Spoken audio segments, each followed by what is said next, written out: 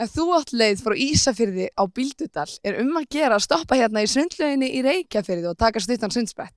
En við ætlum hins vegar að halda áfram ferð okkar og kynna skrimslunum í skrimsla setreinu á Bíldudal. Þannig að sjáumst þar.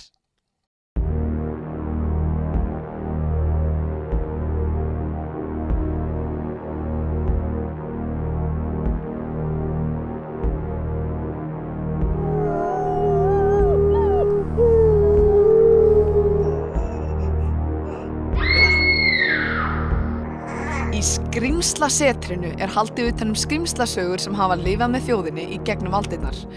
Sagt er frá viðregnum manna og skrimsla á nýstaflegan og spennandi hátt. Skemmtileg umgjörð síningarinnar hefur vakið hrifningu gesta og komið skemmtilega á óvart. Við lítum inn á þetta einstaka setur á Bíldudal. Getur þú sagt mér eins og skrimslasetrinu, hvenær byrjaði þetta? Eh, Þetta byrjaði eitthvað fyrir 2007 og menn komu saman og rættu þessi mál og þessi hugmynd kom upp og bæði bíldalingar og brottfluttir bíldalingar uh, samenuðust um það að hér er þið sett á fót skrýmsla setur og það byrjaði í kringum 2007 þegar að, allt annað var að gerast í kringum okkur og allir var að falla í kringum okkur. En 2009 er búið að opna skrýmslasetrið og það fór í gang og er enn í gangi og er enn í vexti. Og hér er um að ræða fjögur skrýmsli. Við höfum ekki bara eitt skrýmsli eins og þeir í Skotlandi, þeir eru bara eitt skrýmsli, við höfum fjögur. Við erum alltaf better and best, sko.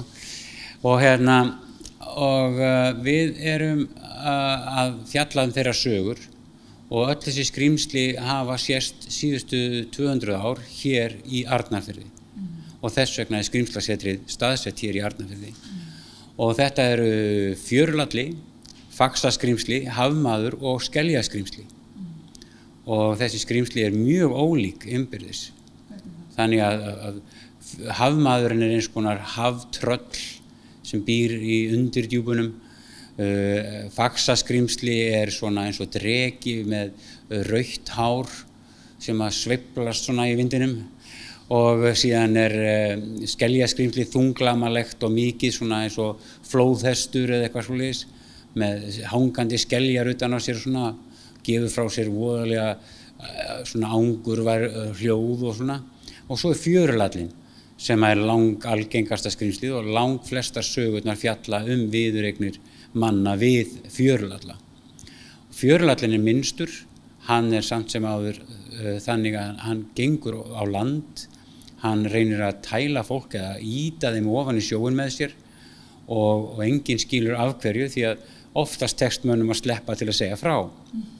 Þannig að ég reikna með að þetta sé vegna þess að hann er einmanna og hann vilji fá félagskap kannski er hann romantískur uh, við vitum ekki um kynneigðans en, en, en þetta skiptir yngum máli hvort það er karlar eða konur það hann reynir að koma þeim ofan í sjóin og uh, kannski ætlar hann að borða þau en uh, ég held að, að ef þetta dýr er þarna raunverulega til staðar að þá er þetta um, um að ræða einhvers konar uh, dýr sem borða þá bara þara eða, eða eitthvað slíkt í það er enga sögur um að ráðist á kindur og veiði sér til matar eða sér í eggjum eða eitthvað slíkt. Hvað einkennir skrimsli? Skrimsli er óþekkt vera sem við erum hrætt við í, í stuttumáli. Þetta er fyrst og fremst alveg óbúrslega skemmtileg uh, upplifun, fyrst og fremst það. Að koma hérna að lappa inn gangin, skoða allt sem að skrimslasetrið eru upp á að bjóða og allt það. Ég er bara opinn fyrir öllu. Ég held að, að það væri gaman að koma að staði að hér væru óþekkt dýr sem ekki hefðu fundist og ekki verið skráð sem, sem dýr.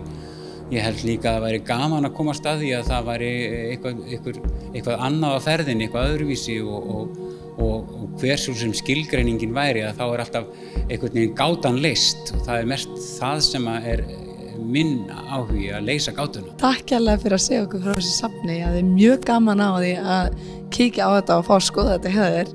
Uh, bara, ég bara hvet alltaf til þess að kíkja á þetta sjálfur. Ekki?